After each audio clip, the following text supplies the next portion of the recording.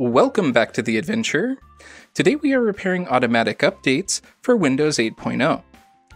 This topic is a viewer suggestion. Initially, I thought Windows 8 is newer-ish, which it turns out it's not.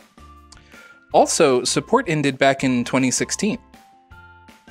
Wait a minute, Windows 7 was supported until 2020. Also, Windows 8.1 isn't a service pack, according to Microsoft. This sounds like the topic for another video.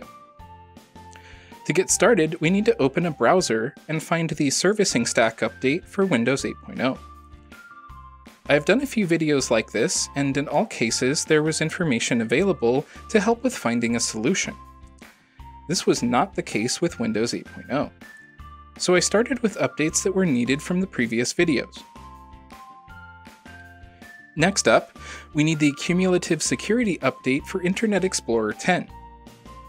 This struck me as odd. Windows 8.0 didn't get Internet Explorer 11.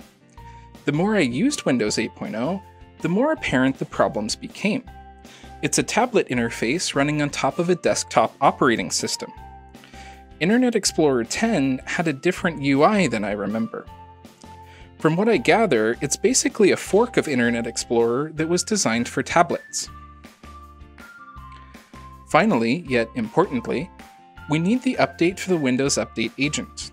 After locating it, installing it, and rebooting the computer, a bunch of updates started installing. When done, it doesn't hurt to go back and check for updates again. In my case, there were none. That's it for repairing automatic updates on Windows 8.0. To recap, we installed the Servicing Stack update, the Cumulative Security update for Internet Explorer 10, and an update to the Windows Update agent. I appreciate all the viewer suggestions I've been getting and look forward to revisiting Windows 8.0 in the future. Thanks for stopping by. See you next video.